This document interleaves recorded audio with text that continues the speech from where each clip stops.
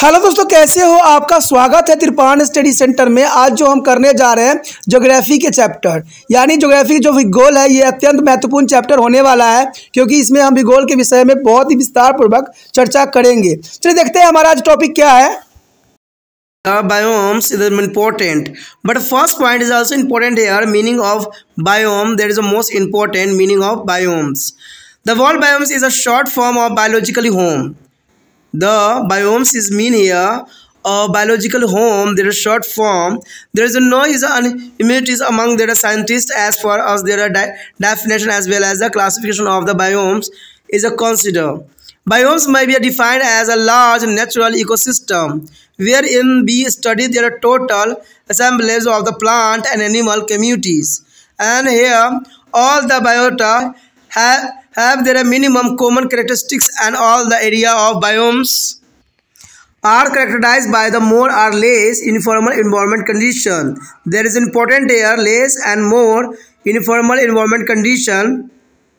Third, biomes include both plant and animal communities, but a biomes is usually is identified and named on the the basis of the dominant vegetation. There is important dominant vegetation, which are normally is a constitute there is a block of the biomes, and this vegetation are the most waves and there is a compass is a visible component of the landscape.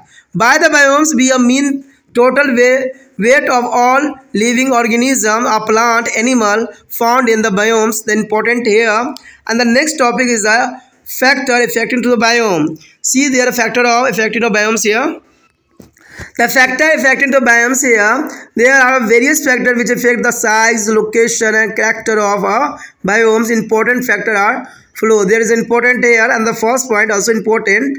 Length of day and the night, light and darkness. The length of the day, light and the darkness is mainly responsible for the duration of photosynthesis. There is important here length of day and light and darkness. This is mainly responsible for the duration of photosynthesis and mean temperature as well as the difference in temperature difference both diurnal and annual.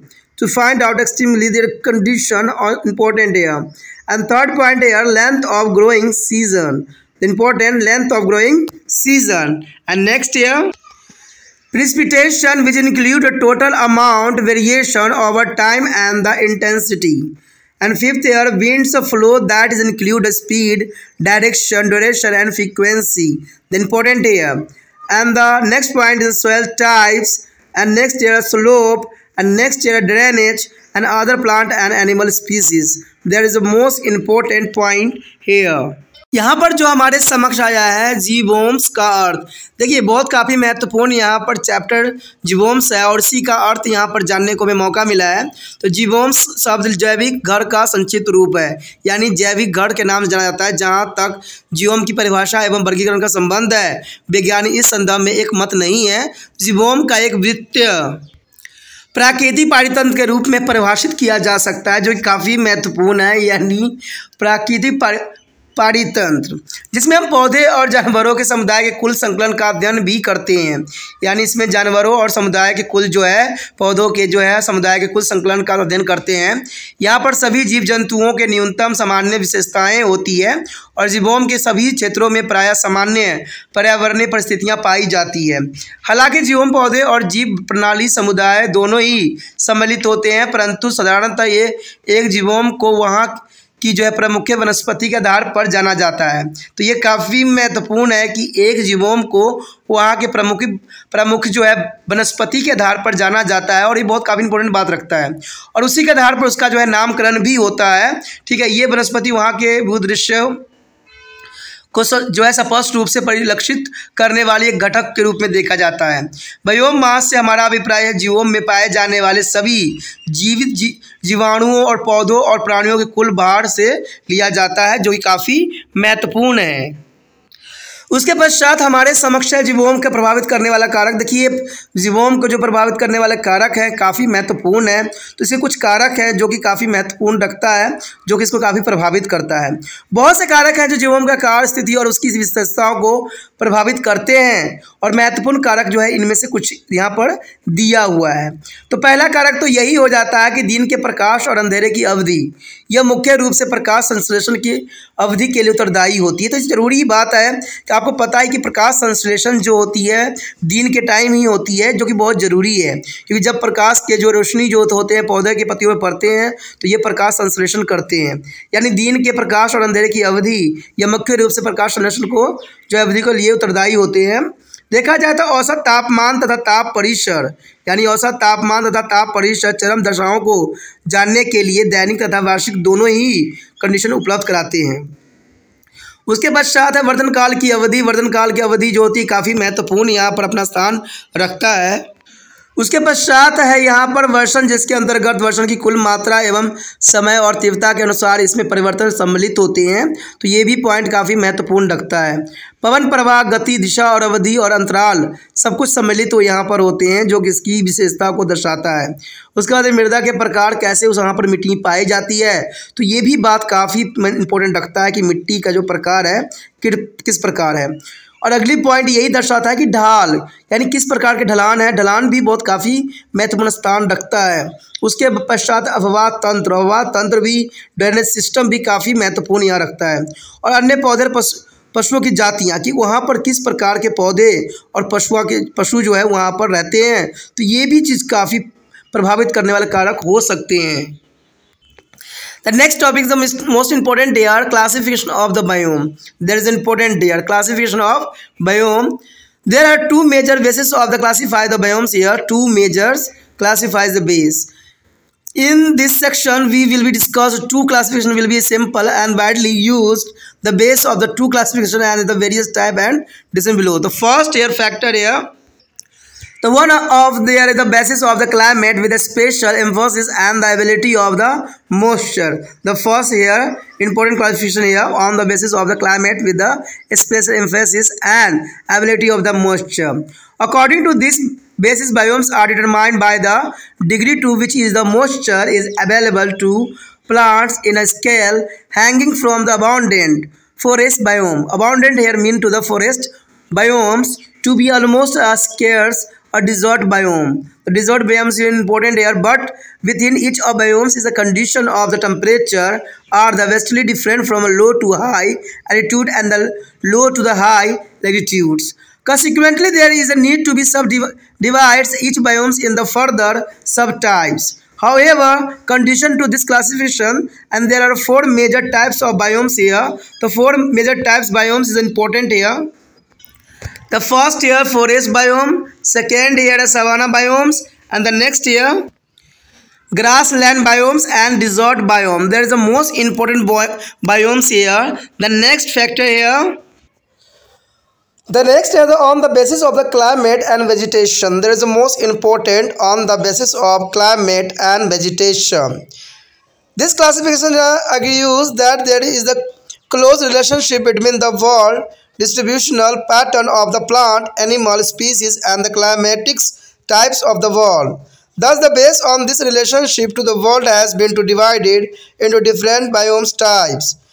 The vegetation is the most is dominant is the component of the biomes as the vegetation and climate have a intimate is a relationship there is a world is divided into the various types on the basis of climate. Further, this Climate-based biomes are divided into the various subtypes on the basis of vegetation. Look at the table number 15.1 given below. There is a most important table here. In this table, there is a most important here show biomes of the first order based on the climatical zone and second biomes are second order based on the vegetation zone and biomes of third order combination of climate and vegetation. The first here tropical biomes. Tropical biome is the three types here. Tropical forest biomes. Here a combination of the climate vegetation here green rainforest biomes, semi-evergreen forest biomes and discusses forest biomes and semi-discussive forest biome, venomous forest biome and savan forest, samup forest biome. There is important here. And the next year, savan biome. Savanna biome is the most important here. Savanna biomes forest is the most important first. And savanna is a grassland biome the second. The next year, desert biomes. Desert biomes here dry and arid to the desert biomes and semi-arid biomes is important here. The second here, temperate biome. Temperate biomes is the here arboreal forest biome and taiga forest biome. There is a northern American biome and a styx biomes, mountain forest biome. And second temperature discussion forest biomes is there are two types here, North American biomes and European biome.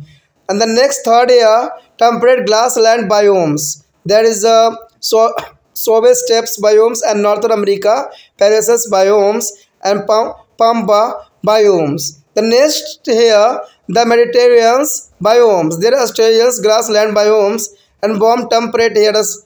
There is important on the southern hemisphere biomes is a part of the Mediterranean biomes. The next year, Tundra biome. Tundra biomes here is the most important. Erica tundra biomes and alpine tundra biomes is important here. From the table 15.1, it is quite clear that is a number of biomes are found in the different part of the globe. For a detail is studied three biomes, one from the each is a climatical zones has been to selected and those three biomes are here. The evergreen rainforest biomes and second here the temperate grassland biomes and third is there the Arctic tundra biomes. The three types are the most important biomes here and discussion to one by one but first of all यदि हम जीवोम्स के वर्गीकरण करें तो काफ़ी महत्वपूर्ण रहेगा यहाँ पर। जीवोम का जो वर्गीकरण करना बहुत काफ़ी महत्वपूर्ण है। कहते हैं जीवोम के वर्गीकरण के दो प्रमुख आधार माने जा सकते हैं और इस भाग में हम दो वर्गीकरण के आधार के बारे में चर्चा करेंगे जो असामान्य और सब जगह प्रयोग किए जा सकते हैं। इन दो वर्गीकरण के आधार जो है, इनके विभिन्न प्रकार के चर्चा नीचे दिए गई है, जो कि काफ़ी महत्वपूर्ण है। अगर हम पहले की बात करें तो जलवायु के आधार पर निम्न सदरता की उपलब्धता पर विशेष बल दिया गया है, यानी जलवायु के आधार पर, जिसमें आंद्रता की उपलब्धता पर विशेष बल दिया गया है। और इस आधार के अनुसार जीवों के निर्धार, निर्धारण आर्द्रता की उपलब्धता की मात्रा के अनुसार किया जा सकता है। जहाँ पर अंधता प्रचुर मात्रा में उपलब्ध होती है, वहाँ जो है वन जीवों की प्रधानता रहती है। और जहाँ अंधता कम होती है, वहाँ मरुस्थलीय जीवों की होती है।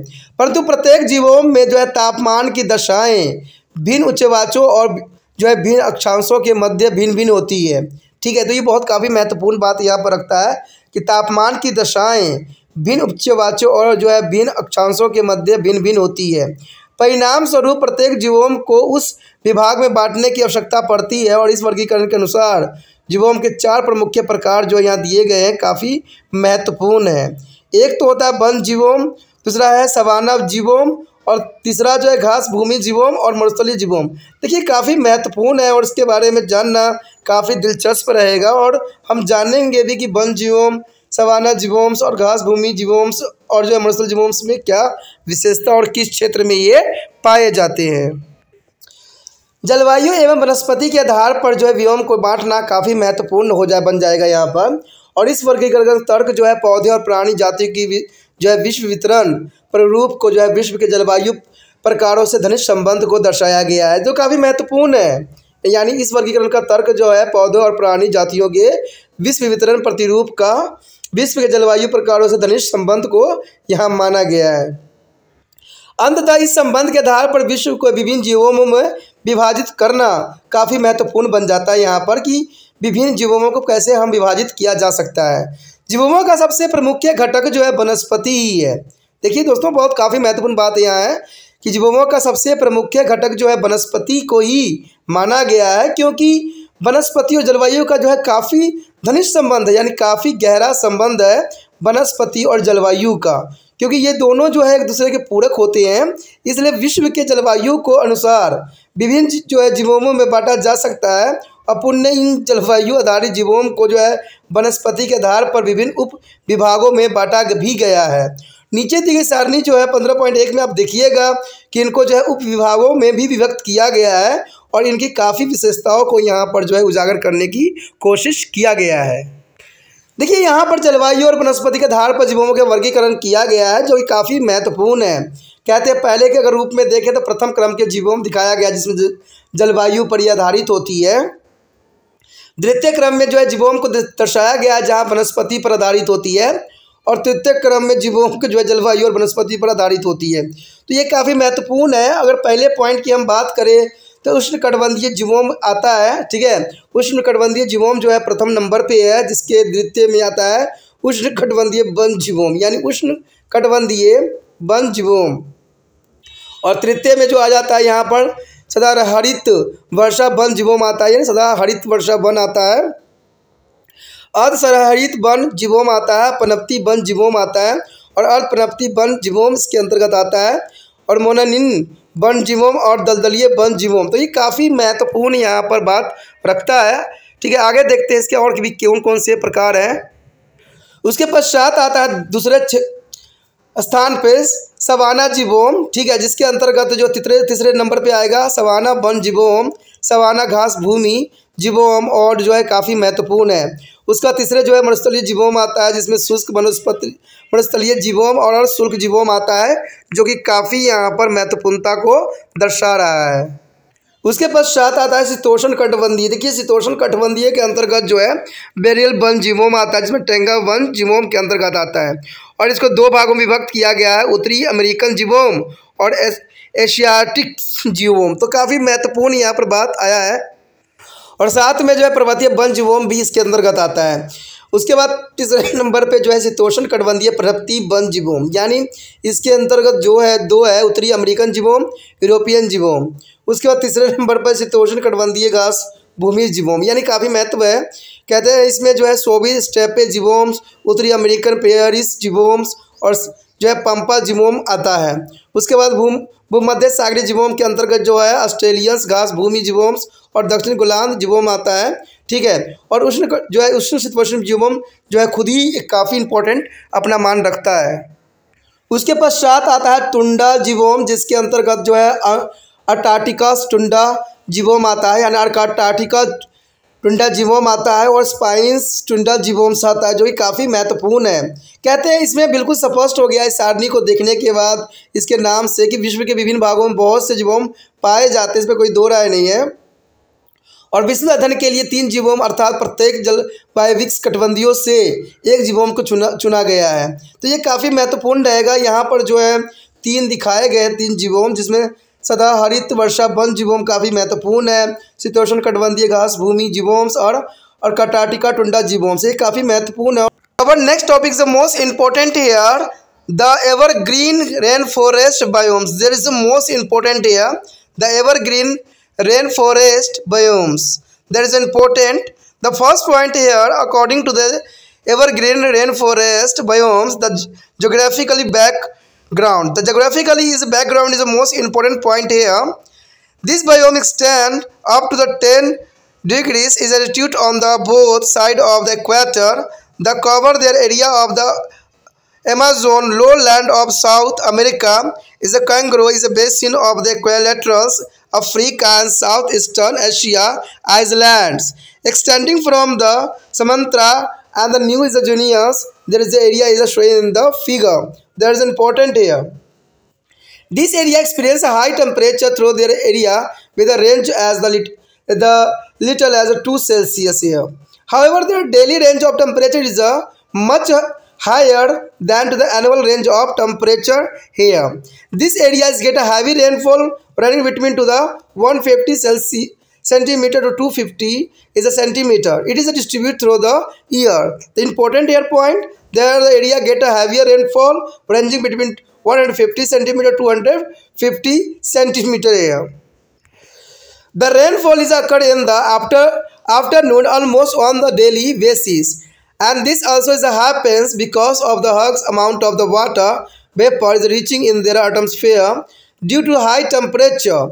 Hence this area is considered to be on equable climate as both temperature and rainfall are high for the whole of the year. There is an important point here and the next year show the figure on this area.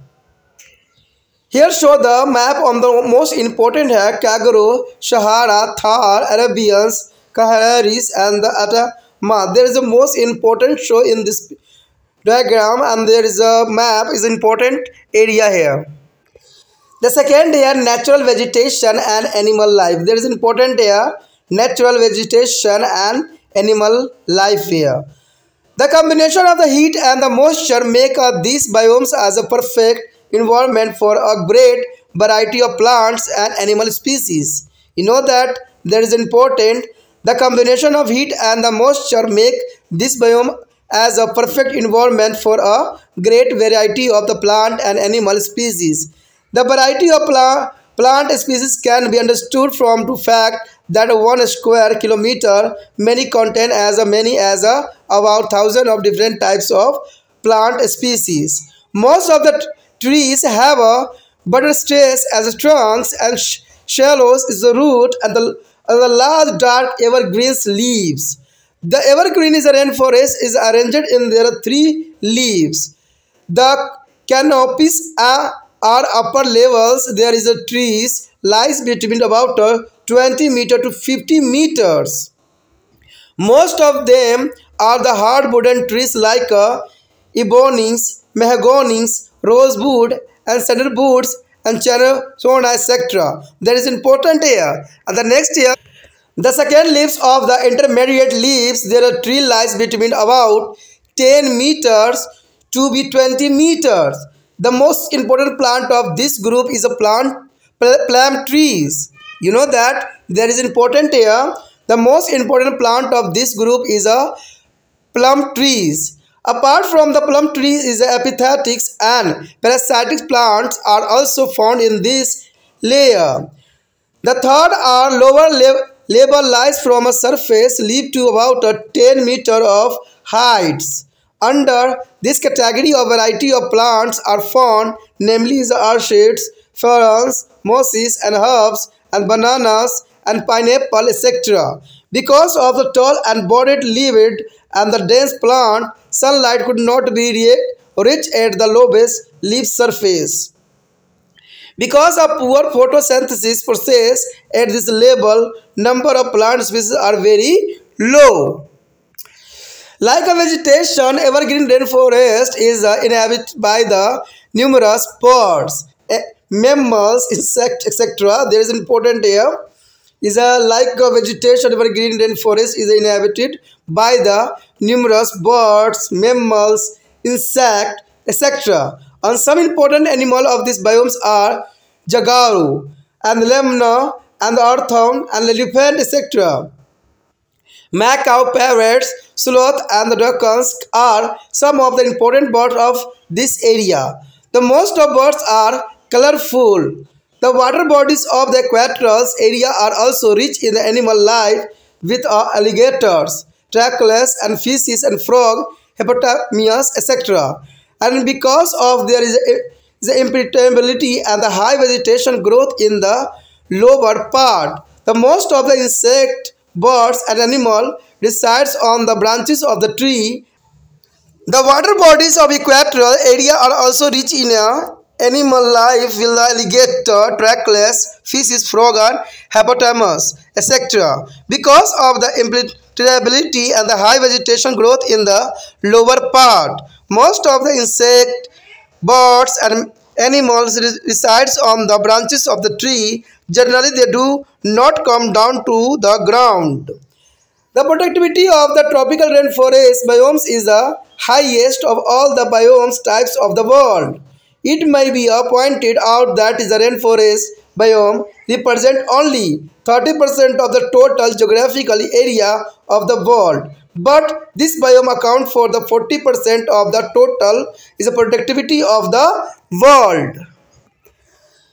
The next point here, human response. The human response here is important here. Human, human beings has also started to be a damage this bi biologically rich ecosystem through the various developmental activity. And these activities are construction of the large dam and reservoirs and the roads and the highways, extraction of the timbers, cleanliness for a posture of crops, encouragement and the clearness by the landless peasant etc there is an important here human response is a response. Ecologists is argues that if the clearness of continue at the recent rates all of the world as a undistributed rainforest is likely to have a disappear appeared or to be a damaged by the 2020 and this would be lead to be uh, a variable loss of biological assessed.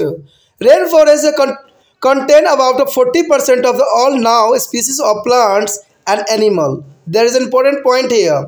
The rainforest contain about 40% of all known as their species plant and animal. A clearness of rainforest causing the loss of the valuable natural resource including hardwood and trees and tree products such as uh, quinones, rubbers, vegetables and gums etc. There is an important point here.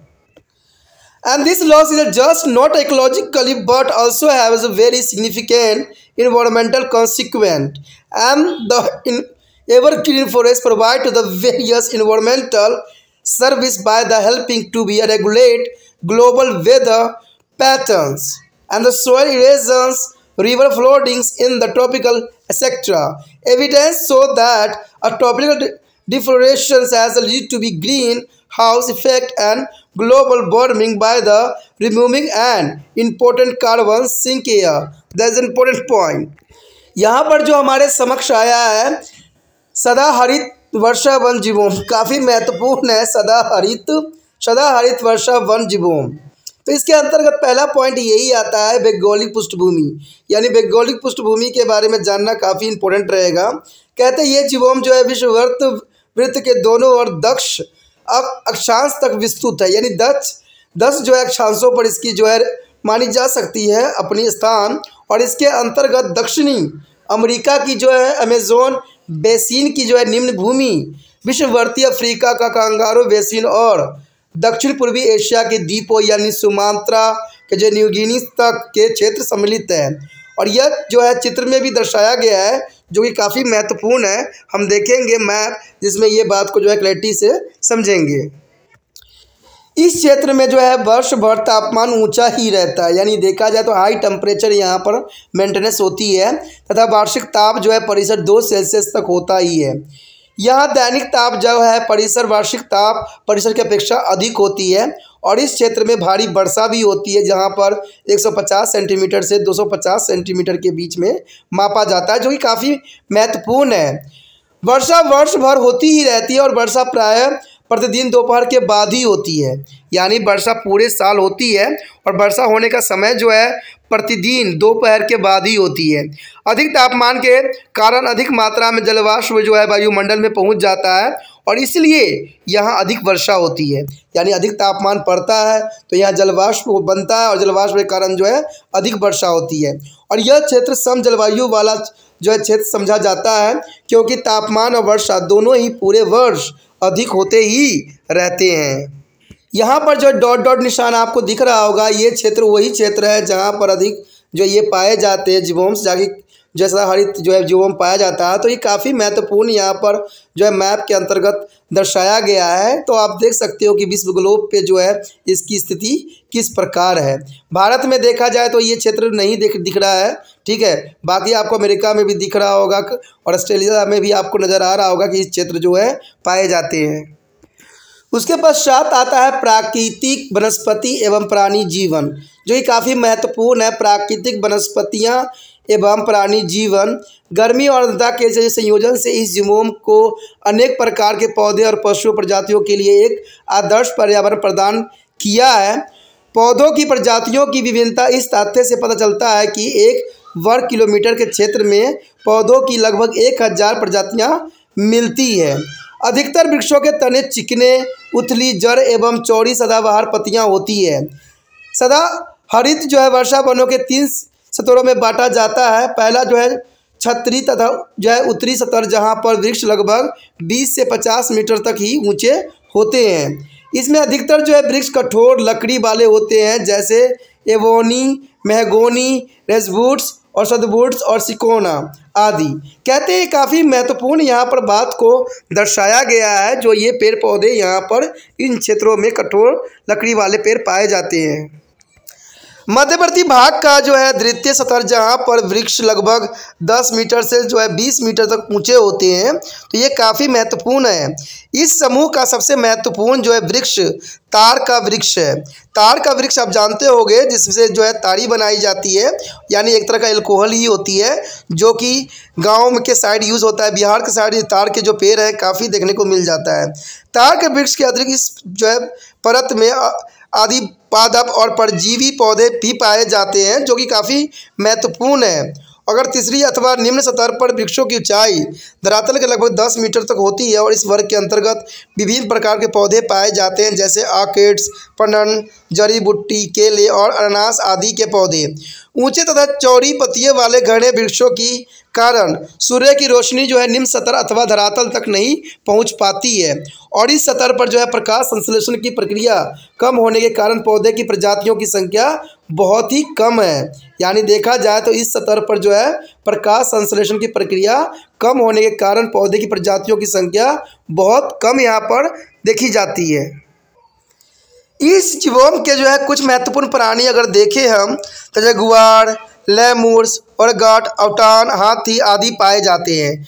Macau, तोता सखलम्बी और टुकन इस क्षेत्र के कुछ महत्वपूर्ण पक्षी है। अधिकतर पक्षी जो है चटकीले रंग के होते हैं, यानी काफ़ी चमकदार होते हैं, काफ़ी रंगील होते हैं। विश्ववर्तीय क्षेत्रों के जलीय भाग जो है, प्राणी जीवों में धनी होती है। यहाँ पर कछुए, घड़ियाल, मछलियाँ, मेढक, दरियाई घोड़ा आदि पाई जाती हैं। निचले भाग में धनी वनस्पति और जो है अप्रवेश्य होने के कारण जो है अधिकतर कीट पतंगे और जो है प्राणी वृक्षों की शाखाओं पर रहते हैं। सामान्यतः यह धरातल पर नीचे नहीं आते हैं, जो कि काफ़ी महत्वपूर्ण है। कहते हैं, उष्णकटबंधीय वर्षा वनों में अधिकता जो है विश्व के सभी प्रकार के जीवों से अधिक है, और वर्षा वन जीवों विश्व के कुल भौगोलिक क्षेत्रफल का केवल तेरह प्रतिशत भाग पर ही पाए जाते हैं। परंतु ये जीवोम विश्व की कुल उत्पादकता के चालीस प्रतिशत के लिए ये जिम्मेदार है, जो कि काफ़ी महत्वपूर्ण बात यहाँ पर आता है। उसके बाद इसका अंतिम पॉइंट यही दर्शाता है कि मानवीय अनुक्रिया मानवीय अनुक्रिया किस प्रकार यहाँ पर देखने को मिलता है तो ये काफ़ी दिलचस्प रहेगी कि मानवीय अनुक्रिया कैसी है। कहते हैं, मानव ने विभिन्न विकासात्मक जो है अनुक्रियाओं द्वारा जैविक रूप से धनी इस पारितंत्र भी क्षति पहुंचानी आरंभ कर दी है। तो जिसमें कोई दो राय नहीं है, कहते मनुष्य वो लालच का पिटारा है जहाँ इनकी लालच बढ़ती नहीं है और जैविक रूप से धनी इस पारितंत्र को जो है क्षति पहुँचाना आरंभ हो गया और काफ़ी विनाश के कगार पर पहुँचा दिया है। इस अनुक्रिया में जो है विशाल बांधे जलाशय सड़कें और राजमार्गों का जो बनना, इमारती लकड़ी के लकड़ियों के लिए, जंगलों का काटा जाना और घास मैदान और फ़सलों के लिए बन वनों को साफ़ करना, भूमिहीन किसानों द्वारा वनों की सफ़ाई करके ज़बरदस्ती, भूमि पर कब्जा करना आदि सम्मिलित है। तो ये मानव अनुक्रिया है, जिसकी वजह से जो है ये प्राकृतिक क्षेत्र जो है विनाश होने के कगार पर आ चुका है। देखा जाए तो परिस्थितिक वैज्ञानिक कहते हैं कि अगर वनों का सफाया इसी दर से होता रहा तो विश्व के वर्षा वनों के सन 2020 तक गायब हो जाए जाएँगी। तो इसमें कोई दो राय नहीं, आज हम दो हज़ार तेईस तक पहुँच चुके हैं तो यहाँ पर अगर आप देखोगे, जानोगे तो यहाँ पर सभी वन जो है नष्ट हो चुके हैं। सारे प्राकृतिक जो वन थे, वो बिल्कुल ही समाप्त हो चुके हैं। तो वैज्ञानिक ने जो भविष्यवाणी की थी, वो सच हो गया, और इसमें कोई दो राय नहीं है। आज देखिएगा तो हर क्षेत्र में वन जो है, गायब सी होती चली जा रही है। कहते हैं, नष्ट हो जाने की संभावना तो पूरी पूरी बनी हुई है, और बन गई क्या, बन भी चुकी है। इसे जैविक संपत्ति के जो है अनु, जो अपूर्णीय क्षति होगी और वर्षा वनों में पौधे और पशुओं के जो है संपूर्ण जात प्रजाति का चालीस प्रतिशत भाग रहेगा। वर्षा वनों के सफाया से जो है मूल्यवान प्राकृतिक संसाधन जैसे कठोर लकड़ी के वृक्ष वृक्ष उत्पाद जैसे कुनीन रबर, वनस्पति, गोंद आदि नहीं मिल सकेंगे। तो इसमें कोई दो राय नहीं है। आज ऐसे बहुत से पौधे जो है विलुप्त हो चुके हैं जो पहले हुआ करते थे। तो कहते परिस्थितिक वैज्ञानिक ने इस बात को सही जो है आकलन किया था अपने समय में। यह क्षति केवल परिस्थितिक ही नहीं है, बल्कि इससे बड़े ही पर्यावरणीय दुष्परिणाम होंगे। और देखने को मिला भी है कि इसका जो है बहुत ही दुष्परिणाम यहाँ पर हुआ है। कहते सदा हरित वन जो है भूमंडलीय मौसम प्रतिरूपों के नियंत्रण करके विविध पर्यावरण सेवाएँ प्रदान करते हैं। और ये जो है उष्ण कटबंधीय प्रदेशों में मृदा अपर्दन तथा नदियों में आई बाढ़ को रोकने में भी सेवाएँ प्रदान करते हैं। तो आज के समय में देखिएगा तो ऐसा कुछ भी नहीं है। ठीक है ना? आज बाढ़ आती है, लेकिन ये पौधे इस नहीं अपना जो है कर्तव्य निभा पा रहे हैं। कारण क्या है? इनको जो है विनाश पे विनाश किए जा रहे हैं मनुष्य ने। कहते प्रमाण सिद्ध करते हैं कृष्ण कटबंधीय जो है वन नाशन ने एक महत्वपूर्ण कार्बन सिंह को हटाकर हरित गिरी प्रभाव और भूमंडलीय तापन को पैदा किया है। तो इसमें कोई दो राय नहीं हर वर्ष जो है इसमें काफ़ी टेम्परेचर जो है इंक्रीज होते हुए हमें देख सकते हैं। तो इससे जो है पर्यावरण के कारण ही हुआ है और पर्यावरण को नष्ट करने का सबसे बड़ा जो जाता है कारण वो इंसानों को जाता है, जो इंसान लालच के आड़ में अपना जो है खुद पे पैर पे कुल्हाड़ी मार रहे हैं। और अभी भी नहीं समझे तो आने वाला समय में ऐसा रहेगा कि इंसान का अस्तित्व ही खत्म हो जाएगा। क्योंकि आप पेड़ पौधे का अस्तित्व खत्म करोगे तो आपका अस्तित्व भी नहीं बच सकता है। The next topic is the most important here temperate grassland biome there is important here temperate grassland biomes there is important the first point here geographical a background. The first here, geographical background. The temperate grassland are localized in the two is a typically location interior of the continent in the northern hemisphere and the marine of the continent of in the southern hemisphere. And therefore the temperate is a grassland of the southern hemisphere have a moderate climate and then there is a counterparts of the northern hemisphere. Because of more marine influence as they are the closer to the coasts the temperate grassland of the northern hemisphere are is characterized by the continental is a climate where, where in the extreme of the summer and the winter temperature are well marked. Through the grassland in the southern hemisphere are located along their coastal and they are located in their rain shadow area of the high coastal mountains. And this location account for the scanty rainfall in all this is a reason. These grasslands are found in the, all the continent under different name. In the northern hemisphere, the grasslands are far more extensive in the Eurasias and they are called to the steppes and sketch eastward from to the shore of the Black Sea of the plains of the Mancorius in China. In the Northern America, the grasslands are quite extensive and they are called prairies. And they lie between to the foot hills of the Rockies and the Great Lakes. In the, in the southern hemisphere, these grasslands are less extensive. And these are they are known as the Palmas, as the Argentinas and the Orgales and the Southern Africa. And these grasslands are sandwiched there between two dark rocks and mountain and there are Harris Resort and called Develt. In Australia, these grasslands are known as the Downs and there is a font to the Murray and the Darlings is the basin of South Australia. Since all these grasslands are located in the temperate zone and they are no, also known as a temperate grassland, there is an important and important here map. Here show the temperate grassland in the world that is the most important. Paracelsea here and steppes, Manuel's grassland, Palmas, and the well and the downs. There is the most important grassland show in this is globe. The next year, natural vegetation and animal life. There is an important here, natural vegetation and animal life. As the precipitation is too low for the growth of tree but is sufficient for the growth of grass. The natural vegetation of this region is comprised to the tree-less grasslands. Tree upper only on the slope of mountain where the precipitation is more.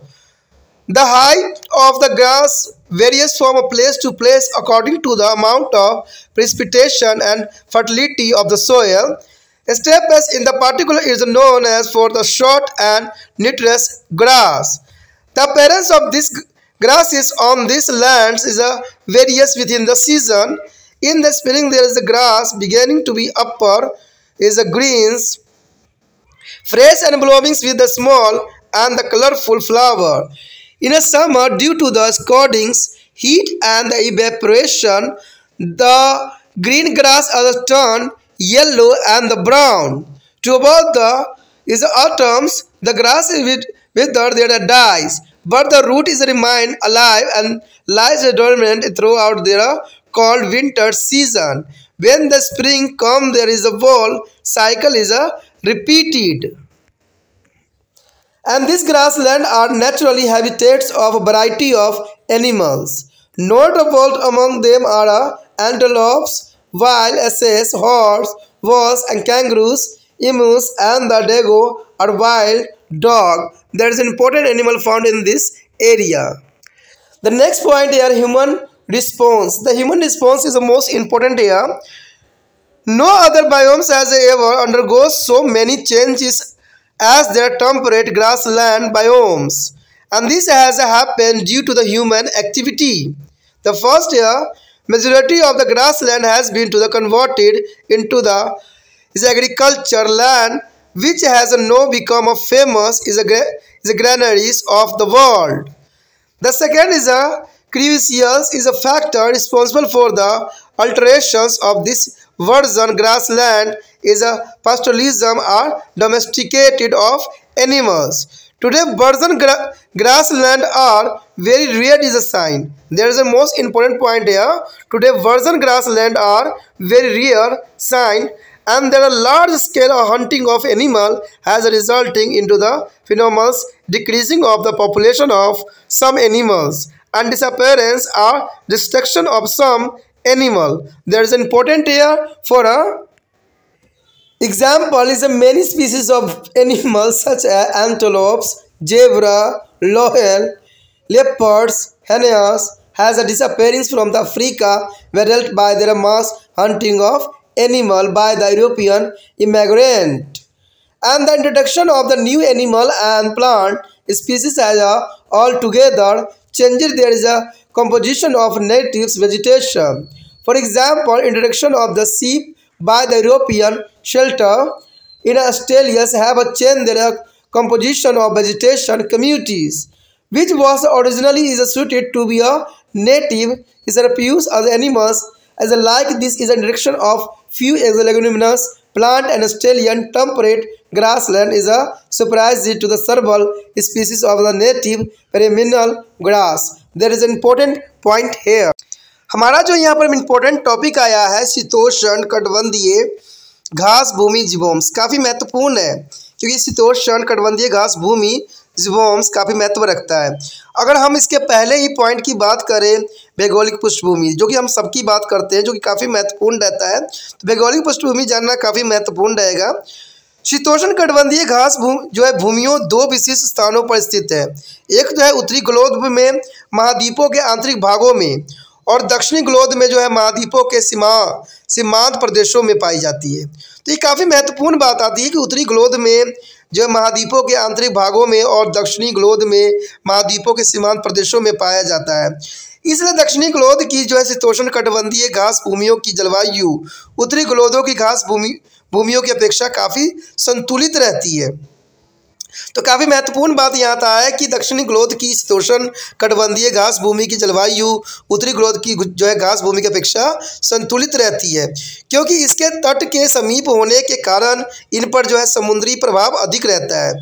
यानी तट के निकट होने के कारण इस पर समुद्री प्रभाव काफ़ी अधिक देखने को मिलता है। उत्तरी ग्लोद की जो है घास भूमियों की विशेषताओं, उनकी महाद्वीपीय जलवायु है, जहाँ पर गर्मियों में अधिक तापमान और शीत ऋतु में जो है तापमान हिमांक बिंदु से नीचे चला जाता है। तो काफ़ी महत्वपूर्ण बात आता है कि गर्मियों में अधिक तापमान और शीत ऋतु में हिमांक बिंदु से नीचे चले जाना। काफ़ी महत्व का बात यहाँ दर्शाया गया है।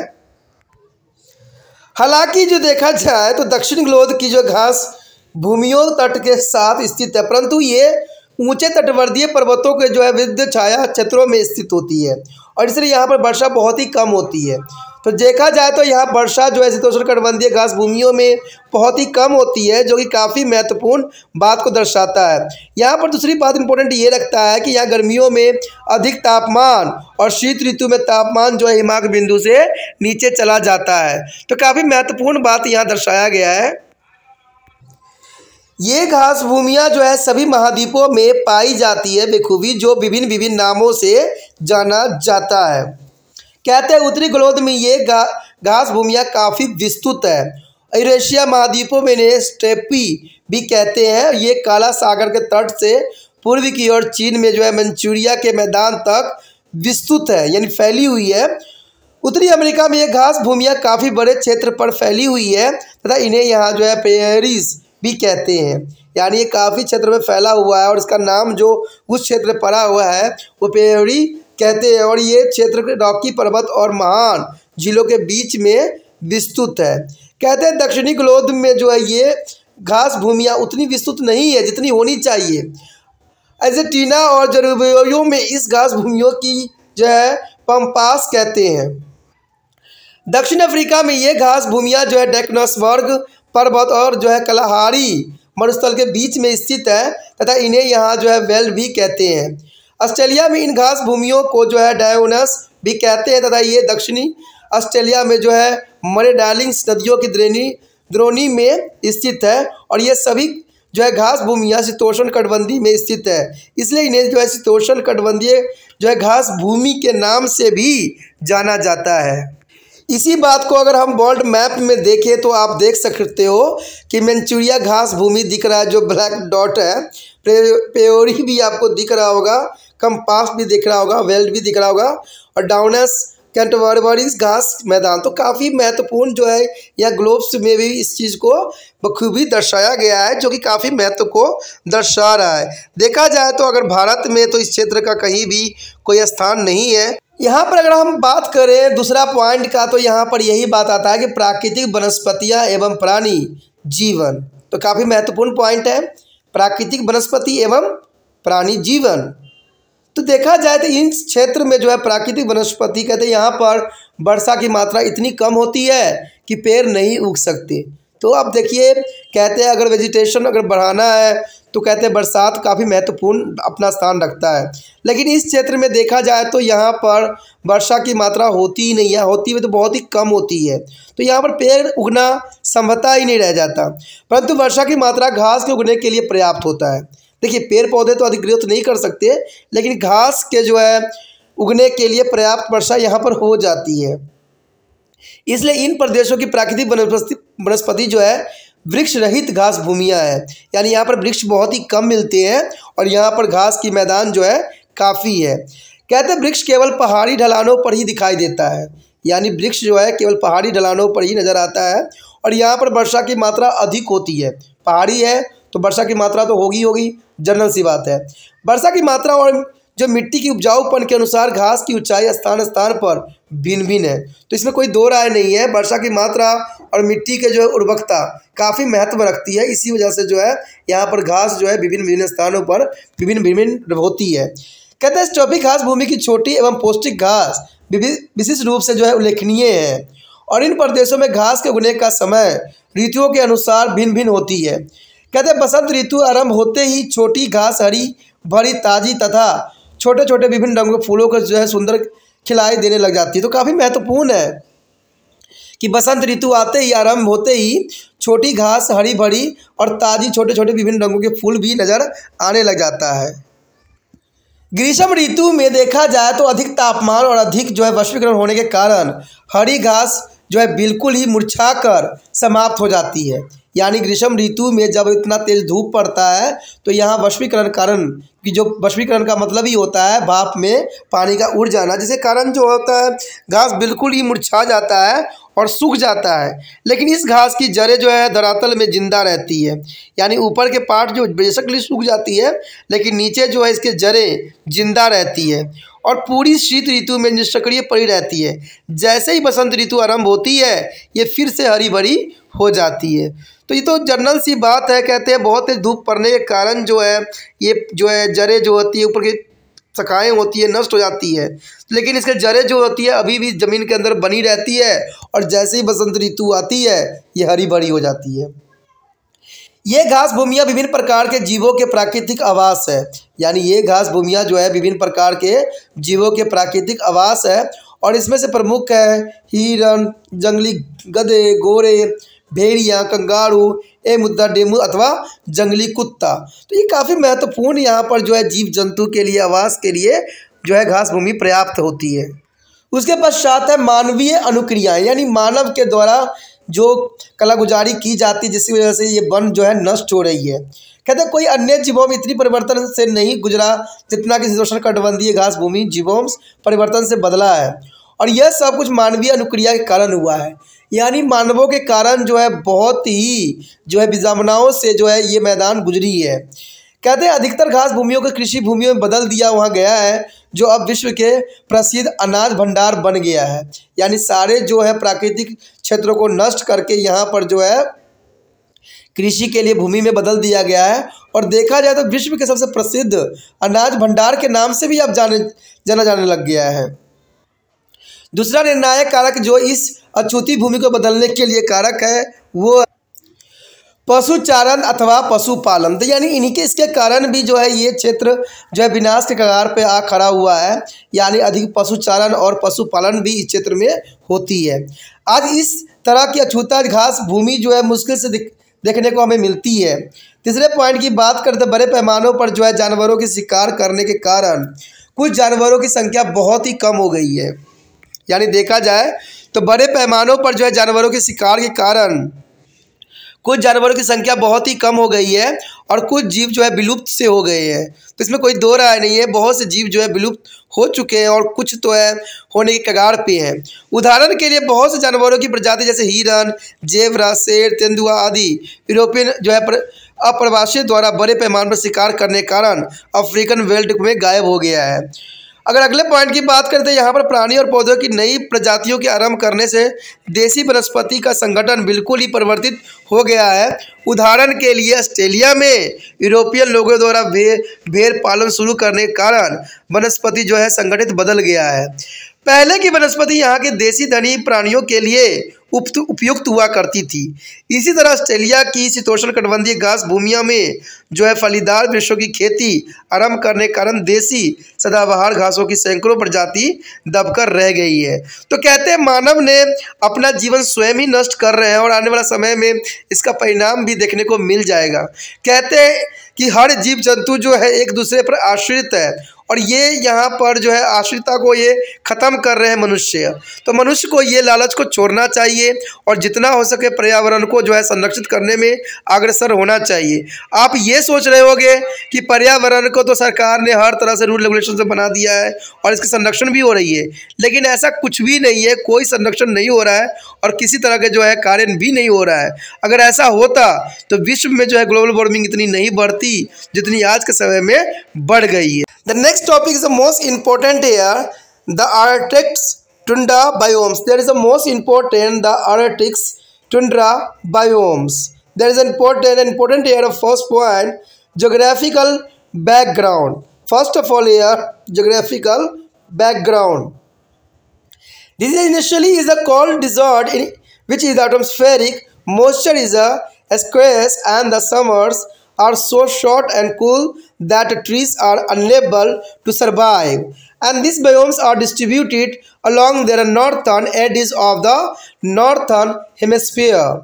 It's the cover parts of Alaska and northern part of Canada. There is a coastal area of Greenland and the Arctic is the coastal region of Russia and the northern is the Siberia. There is important and important here is the globe.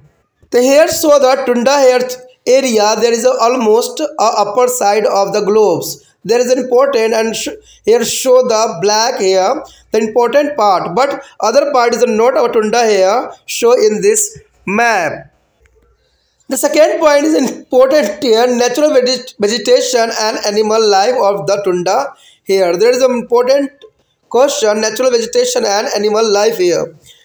The plant cover to the consist of the considerable mixture of species the many of these species are derived from the such as a grasses, is a mosses and leeches and flowering to the herbs and the scotting of the low shrubs. And these plants is often is occur in the dense ground or hangings of agreement. The plant is a complete there is an annual cycle has stills and during their very summers. When the ground is often moisture and waterlogged because of the unequator surface as drainage. The important here, the natural vegetation and animal life of the tundras here, they're important. And the important also here, the animal of these is a biomes is maybe categorized as a resident as as a migrant. Resident animal like a Perthemagans and can adjust himself to be a changing of climatic condition. The migrated animal in the contrast began to the migrating to be warmer place in the very beginning of winter. Examples are birds such as a waterfowl, ducks and swans and geese, etc.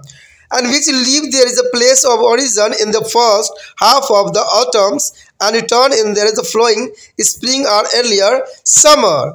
Mosquitoes and flies and other insects is a proliferate of the astonishing and during the short bomb season. Lining of egg that can be survived the bitter winter. Other form of animal lives are scare a few species of the mammals and freshwater fish, but almost no reptiles are amphibians here. And beside there is the rain and deers, wolves and fox, most ox and arctics here, and the she is a lemmings and the live in this region. Productivity of tundra hares is very low. There is an important point, and here the important point also is a box. Productivity is defined as a total accumulate is the amount of energy and stored by the autographics primary producer per unit area per unit time is called productivity. You know that what is the productivity? Productivity is defined as the total accumulate amount of energy stored by the autographics primary producer and per unit area per unit time is called productivity. The reason for the low productivity are minimum sunlight and insolations and absence of scarcity of the nutrients such as uh, nitrogen and phosphorus in the soil. The poorly developed soil scarcities of moisture in the soil and permanently freezes ground and very short growing period. There is an important here. The tundra is come alive to dwellings there is summer though is when flowering plants and support a large population of the mosquitoes and flies, which in the turn provide to the food for a large number of migrating waterfowl. There is an important point here. The next point is important here, human response. There is a human response is here, a discussion is the most important. The harsh environment support a less population. You know that the harsh environment support a less population. The tribes of the Samboids, Lepers, and Fena and the Yokota, Eurasian Tundra and the Eskimos and Canada and Alaska are some of the origin inhabitation of the place and the leader nomadic life for a century. And these tribes are now leading to the permanent and semi- nomadic life. They have adopted to new technologies. For example, deadly lives has replaced the traditional and outdated harpoons. And thus the modern Eskimos epic occupied and with the modern their technologies are now is the position to damage the tundra ecosystem. There is an important point here. The same way is uh, done by the already technologically advanced man is other biomes. The Samoan and the other tribes of their Eurasians in the tundra has also adopted new way of life. Some of them are leading a permanently settled life. Their rear is the re reindeers and the fur animals is the foods, crops, mainly is the wheat in a Siberian tundra. The recent discoveries of the minerals such as the gold and mineral oil in Alaska is important here. Iron's Odis and Labrador is a nickel in the Siberia have encouraged the growth of the mining settlement and development of transport facilities. But the mining activities has also led to the population and the other environmental problem to this fetus ecosystem. You know that there is a most important point here. The end of discovered there are minerals such as gold and minerals. Oil is Alaska. Iron are the Labrador and nickel. Siberias have encouraged the growth of the mining settlement and development of transport facility also. But mining activity has also lead to the population and other environmental problem for this is a ecosystem. There is an important point here. यहाँ पर जो हमारे समक्ष आया है अत्यंत महत्वपूर्ण point Antarctica टुंडा जियोम्स यानी काफ़ी महत्वपूर्ण है अंटार्कटिका टुंडा बेओम जो है, अगर हम इसके पहले ही क्षेत्र की बात करें तो सबसे पहले तो यही आता है भौगोलिक पृष्ठभूमि। यानी भौगोलिक पृष्ठभूमि इसकी कैसी है तो ये जानना ज़रूरी होगा। यह वास्तव में एक ठंडा मरुस्थल है, जिसमें जो है वायुमंडलीय नमी नग्न होती है और ग्रीष्म। ऋतु में इतनी छोटी और ठंडी होती है कि वृक्ष अपने आप को बनाए रखने में असमर्थ होते हैं। यानी देखा जाए तो ये जो है ग्रीष्म ऋतु इतनी छोटी और ठंडी होती है कि वृक्ष अपने आप को बनाए रखने में असमर्थ होते हैं। और यह जीवन उत्तरी ग्लोध से उत्तरी भागों में फैला हुआ है और इसके अंतर्गत जो है, अलास्का के कुछ भाग भी इसके अंतर्गत आता है। और कनाडा के उत्तरी भाग, ग्रीनलैंड और तटवर, तटवर्तीय भाग और रूस कि जो है अंटार्कटिका समुद्री तटीय क्षेत्र उत्तरी साइबोरिया सम्मिलित है। तो ये काफ़ी महत्वपूर्ण है। अगर इसी बात को हम अगर मैप में देखें तो ये साफ़ करता है कि देखिए, मैप में भी अगर आप देखिएगा तो जो ऊपर साइड में ही आपको ये नज़र आ रहा होगा कि तुंडा जो वन क्षेत्र बयोम है, वो ऊपरी क्षेत्र में ही दिख रहा है। जो काले काले से जो आपको धब्बे दिख रहे होंगे, उस क्षेत्र को जो है दर्शा रहा है। लेकिन बाकी जो मेन राज्य हैं, देश है, उसमें कहीं भी आपको जो है, इस क्षेत्र जैसे नई विषमताएँ दिखने को मिल मिल रहा है। तो ये मैप भी जो है, हमारा ग्लोब जो है, बहुत कुछ समझा रहा है। क्योंकि ये जो है, ऊपरी क्षेत्र में ही पाया जाता है और देखा जाए तो यहाँ पर आबादी जो है बहुत ही कम है, इसमें कोई दो राय नहीं है। तो ये काफ़ी महत्वपूर्ण जो है ये ग्लोब्स है। उसके पश्चात आता है दूसरा पॉइंट, प्राकृतिक वनस्पति तथा प्राणी जीवन। देखिए प्राकृतिक वनस्पति तथा प्राणी जीवन का यहाँ पर क्या आधार है तो ये जानना काफ़ी दिलचस्प रहेगा। कहते यहाँ के जो है पौधे के आवरण में इसकी बहुत सी प्रजातियाँ का मिश्रण सम्मिलित होती है और इसमें बहुत सी प्रजातियाँ बौने आकार की होती है। यानी इनमें बहुत सी प्रजातियाँ जो होती है, बौने आकार की होती है, जैसे घास, मांस, लीचेन, फूलदार, औषधि, वनस्पति और जहाँ तहाँ फैली हुई छोटी झाड़ियाँ। तो, जो समझ गए कितना महत्वपूर्ण यहाँ पर आता है कि इसमें से बहुत सी प्रजातियाँ बौने आकार की होती है जैसे घास मांस लीचिन फूलदार औषधि वनस्पति और जहाँ तहाँ फैला हुआ छोटे छोटे झाड़ियाँ। ये सभी पौधे जो है सदन रूप से धरातल को ढके रहते हैं। यानी ये सभी पौधे जो है सदन रूप से धरातल को ढके रहते हैं। छोटी सी ग्रीष्म ऋतु में ये पौधे अपने वार्षिक चक्र को जल्दी से पूरा कर लेते हैं। यानी छोटी सी ग्रीष्म ऋतु में ये पौधे जो है, अपने वार्षिक चक्र को जल्दी से पूरा कर लेते हैं। और इस छोटी सी ग्रीष्म ऋतु में धरातल अक्सर नमी युक्त तथा जलाकांत्र होते हैं, क्योंकि धरातलीय अफवाह ठीक नहीं होती है यहाँ पर। तो ये काफ़ी महत्वपूर्ण है कि इस छोटी सी ग्रीष्म ऋतु में धरातल अक्सर नमी युक्त तथा जो है, जलाकांत होती है, क्योंकि धरातलीय अफवाह ठीक से यहाँ पर नहीं हो पाता है। इस जीवों में जो है पशुओं के दो वर्गों में वर्गीकृत किया जा सकता है। यानी इस जो है जीवों में पशुओं को दो भागों में वर्गीकृत किया गया है। एक जो है आवासी एक है प्रवासी तो ये आवासी और प्रवासी काफ़ी महत्वपूर्ण रखता है। आवासी जैसे है टर्गिमन, बदलती हुई जल वायविक दशाओं के अनुरूप अपने आप को ढाल सकते हैं। यानी आवासी जैसे टर्गिमन, बदलती हुई जलवायविक दशाओं के अनुरूप अपने आप को ढाल सकते हैं। और इसके विपरीत जो है प्रवासी जो है, जीव शीत ऋतु आरंभ होते ही गर्म स्थानों की ओर चले जाते हैं। यानी इसके विपरीत अप्रवासी जीव जो है, शीत ऋतु आरंभ होते ही गर्म स्थानों की ओर चले जाते हैं। उदाहरण के लिए पक्षी जैसे जो है, गुदगावी, बत्तख, हंस, गीज आदि को जो है, शरद ऋतु के आरंभ में ही अपने मूल स्थान को छोड़कर चले जाते हैं। यानी अपने मूल स्थानों को छोड़कर चले जाते हैं। तथा अगले बसंत अथवा जो है ग्रीष्म ऋतु के आरंभ में लौट आते हैं। तो कहते हैं कि जीव जंतु भी कहते हैं समय के अनुसार अपने आप को ढालना जानते हैं और इसलिए जो है ये प्रवासी हो जाते हैं। यानी इस क्षेत्र को छोड़ के जो है, जिस क्षेत्र में उनको अच्छा महसूस होता है, उस क्षेत्र में वो चले जाते हैं। मच्छर, मक्खियाँ तथा अन्य कीट पतंग की जो है छोटी सी गर्म ऋतु में बहुत अधिक संख्या में उत्पन्न हो जाते हैं। तो इसमें कोई दो राय नहीं आपने देखा होगा कि गर्म ऋतु जैसे ही हम गर्म ऋतु आती है, गर्मी आती है, मच्छर और मक्खियाँ जो है, अन्य कीट पतंगे छोटी सी गर्म ऋतु में अधिक संख्या में उत्पन्न होने लग जाते हैं। ठीक है? तथा अंडे देते हैं।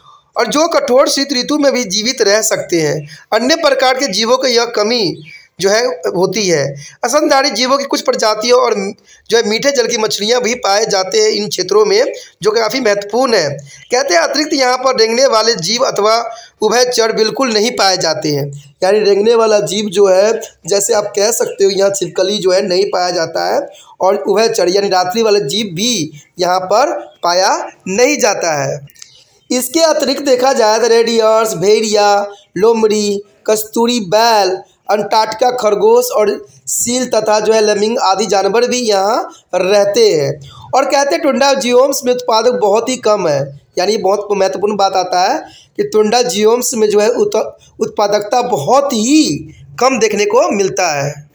यदि इसी पॉइंट को हम अगर जानने की कोशिश करें जो कि बॉक्स में है, जो कि काफ़ी महत्वपूर्ण है। कहते हैं स्वयं पोषी प्राथमिक उत्पादों द्वारा प्रति यूनिट क्षेत्र और प्रति यूनिट समय में जमा की गई कुल ऊर्जा की मात्रा को उतप, उत्पादकता कहते हैं। यानी स्वयं पोषी प्राथमिक उत्पादकों द्वारा प्रति यूनिट क्षेत्र के प्रति यूनिट समय में जमा की गई कुल ऊर्जा की मात्रा को उत्पादकता कहते हैं। तो काफ़ी महत्वपूर्ण है।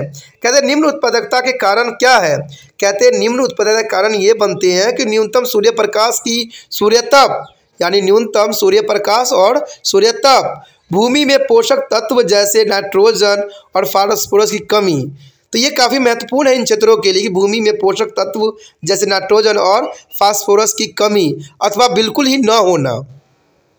तीसरी बात आती है कि कम विकसित जो है मिट्टी पाई जाती है, यानी कम विकसित मिट्टी होती है, और मिट्टी में नमी की कमी भी होती है। यानी मृदा में देखा जाए तो नमी की कमी होती है। ठीक है तो मिट्टी में कमी की मात्रा देखी जा सकती है। धरातल के स्थायी रूप से बर्फ़ से ढके रहना, यानी धरातल जो होती है, हमेशा ही अस्थायी रूप से बर्फ़ से ढका रहता है। अगर ये बर्फ़ से ढका रहेगा तो इसमें कोई भी क्रिया होना संभव नहीं है। और बहुत छोटा वर्धन काल होता है, यानी यहाँ देखा जाए तो समय काल जो होता है, बहुत ही छोटा होता है। तो ये भी इंपॉर्टेंट बात आती है। कहते हैं ग्रीष्म ऋतु में बर्फ़ को पिघलते ही टुंडा में जीवन फिर लौट आती है। लेकिन ग्रीष्म ऋतु में जब बर्फ़ पिघलते हैं तो सारे जीव जंतु जो है दोबारा इस क्षेत्र में लौट आते हैं। और इस समय फूलों वाले पौधे, मच्छरों और मक्खियों की बहुत बड़ी संख्या को आश्रय देते हैं। और बदले में ये बहुत बड़ी संख्या में अप्रवासी गुरवालियों को भोजन भी प्रदान करते हैं, जो कि काफ़ी महत्वपूर्ण बात यहाँ आता है। उसके पश्चात आता है मानवीय अनुक्रियाएँ। देखिए, मानवीय अनुक्रियाएँ काफ़ी महत्वपूर्ण है। कहते हैं, यहाँ के कठोर वातावरण में बहुत ही कम लोग रहते हैं। यानी यहाँ के कठोर वातावरण में बहुत ही कम लोग रहते हैं। यानी इंसान वहाँ पर बहुत ही नाम मात्र है। तो इसका मतलब है कि यहाँ की प्राकृतिक वनस्पति के साथ जो है इंसान कम छेड़छाड़ करता होगा। तो ये जनरल सी बात है, जब यहाँ पर उनकी लाइक कंडीशन नहीं है तो यहाँ पर जो है प्राकृतिक संतुलन बना ही रहेगा। कहते रशिया टुंडा में सहयोग पेडस लैस फ़िश और याकोती जनजाति तथा कनाडा और अलास्का के एस्कोमो लोग यहाँ मूल निवासी है। तो यहाँ पर देखा जाए तो जनजाति रहती है। और सदियों से जो है चलवासी जीवन व्यतीत कर रहे हैं। चलवासी जीवन का मतलब होता है कि वो एक जगह नहीं ठहरते हैं, वो एक जगह से दूसरी जगह चले जाते हैं। तो जैसे पक्षी माइग्रेट करते वैसे इंसान भी यहाँ पर चलवासी ही होते हैं माइग्रेट टाइप के होते हैं। ये जातियाँ अब अस्थायी अथवा अर्धचलवासी जीवन व्यतीत कर रहे हैं। लेकिन अब जो है, काफ़ी समय बीत गया है, तब ये जो लोग हैं, उस क्षेत्र में अस्थायी रूप से या अर्धचलवासी यानी बहुत ही कम जो है, यहाँ से वहाँ ट्रैवल करते हैं। उन्होंने नई तकनीकों का अपना लिया है। उदाहरण के लिए जो घातक राइफलों ने परंपरागत और पुराने हारमोन का जो स्थान ले लिया है अंततः नवीनतम तकनीक से लैस आधुनिक जो कामों आज टुंडा तंत्र को नष्ट करने के लिए उसी स्थिति में है जिससे तकनीकी रूप से विकसित मानव ने अन्य व्योम्स में किया है। देखिए, कहते हैं, इंसान कभी सुधरने वाला तो है नहीं। कहते हैं, आदिवासी ने अपना जीवन वहाँ पर स्थायी रूप से बना लिया है। और आजकल जो है, जनजातियों ने जो है, वहाँ की जीवन शैली वहाँ के पेड़ पौधों को बिल्कुल ही नष्ट, तहस नहस कर दिया है, जैसे बाकी क्षेत्र में हुआ। तो कहते हैं, जितने टेक्नोलॉजी की आड़ में ये आगे बढ़ते जाएँगे इंसान, उतना जो है प्राकृतिक को ये नष्ट करते रहेंगे। जैसे टुंडा के मिलों में से अन्य जातियों ने नई जीवन शैली अपना लिया है और इसमें से कुछ अस्थायी रूप से एक स्थान पर अब रह रहे हैं। और रह रहे हैं तो यहाँ के जो है प्राकृतिक जीवन को नष्ट भी कर रहे हैं। ये जो है रेडियर और जो है फर वाले अन्य जानवर भी पालते हैं। जो फर वाले जानवर होते हैं, उसको पालते हैं और साइबेरियन टुंडा में जो है खाद्य फ़सलों में मुख्य गेहूँ की खेती की जा रही है। हाल के वर्षों में खनिज की खोज जैसे अलास्का में सोना और खनिज, तेल और जो है लेब्रोडोर में लोहा, अयस्क साइबेरिया में निकेल्स ने जो है खनन वस्तु की स्थापना भी बेखूबी किया है। और कहते हैं, यहाँ पर यातायात के साधनों के विकास को भी काफ़ी प्रोत्साहन किया है। परंतु खनन प्रक्रिया में यहाँ प्रदूषण तथा इस कमज़ोर पारितंत्र के अन्य पर्यावरण पर समस्याएँ पैदा कर दी है। तो कहते हैं, इंसान किसी भी क्षेत्र को छोड़ने वाला नहीं है, चाहे वो बर्फीला क्षेत्र हो, चाहे वहाँ पर कम आबादी रहती हो। इंसानों ने हर क्षेत्र में अपना प्रभुता साबित किया है, लेकिन यहाँ पर जो है जीवन जंतु के लिए बिल्कुल ही पर्यावरण को रहने नहीं दिया है। कहते हैं, ये सारे हमने पढ़ने के बाद एक बात तो साफ़ हो गया कि इंसान जो है अपना जीवन स्वयं ही नष्ट करने पर लगा हुआ है। कहते हैं, ऐसा कोई भी क्षेत्र नहीं है जहाँ इंसान की दबदबा नहीं है और इंसान ने उस चीज़ को जो है समस्या कमज़ोर, पारितंत्र को कमज़ोर कर दिया है। तो ये काफ़ी महत्वपूर्ण चैप्टर था, जिसमें हमने हर एक पहलू पर, हर एक क्षेत्र के विषय में विस्तार पूर्वक जानने की कोशिश किया और देखा कि मानव कितने ही जो है बेवकूफ़ी वाले कार्य कर रहे हैं, जिससे जो है आने वाला समय में पर्यावरण जो है बिल्कुल ही नष्ट हो जाएगा।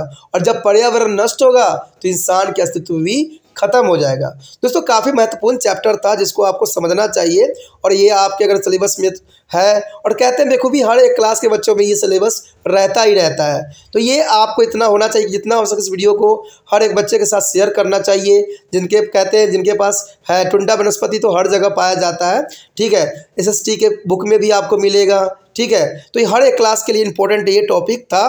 तो जितना हो सके इस वीडियो को जो है, दोस्तों के साथ शेयर कीजिए, जिससे वो भी इस वीडियो का फ़ायदा उठा सके। और इसके लिए आपको कुछ भी करने की ज़रूरत नहीं है, सिर्फ़ इतना सा करना है कि आपने इस वीडियो को देखा, आपको वहाँ पर शेयर का बटन दिख रहा होगा यूट्यूब पर तो शेयर को दबाइए वहाँ पर उससे जाके व्हाट्सअप पर जो है, कुछ समय के लिए लगा दीजिए।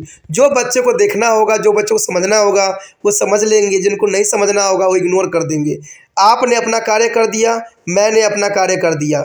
बाकी देखने वाले देखे, चाहे ना देखे, उनकी अपनी प्रॉब्लम है, ठीक है। और जितना अगर पहली बार वीडियो देख रहे थे तो चैनल को सब्सक्राइब करके अपने मोबाइल में सेव कर लीजिए, क्योंकि आपको पता है कि यहाँ पर हर क्लास के लिए वीडियो बनाई जाती है तो ये आपके लिए फ़ायदे में रहोगी। ठीक है? कहते हैं एट क्लास से लेके यहाँ पर जो है एम के बच्चों के लिए हर एक वीडियो उपलब्ध है। और ये आपको यूट्यूब पर रिसर्च करने से नहीं आएगा। अगर कोई टॉपिक यूट्यूब पर रिसर्च करोगे तो त्रिपाण सेंटर का जो है बनाया हुआ वीडियो नहीं आएगा। ठीक है? क्योंकि पहले से जो वीडियो उपलब्ध है, वही आता है। तो इसके लिए आपको चैनल को सब्सक्राइब करके रख लेना, बहुत ज़रूरी होता है। चैनल सब्सक्राइब करके रखिएगा तो वहाँ पर जो है आपको होम पेज मिल जाएगा। जहाँ पर वीडियो लिखा है, उस पर दबाइएगा, और जो रिसेंटली वीडियो डली है, उस पर देखिए। जो आपके सिलेबस में है, उस वीडियो को सेव कीजिए, और जो है अच्छे अंक प्राप्त कीजिए।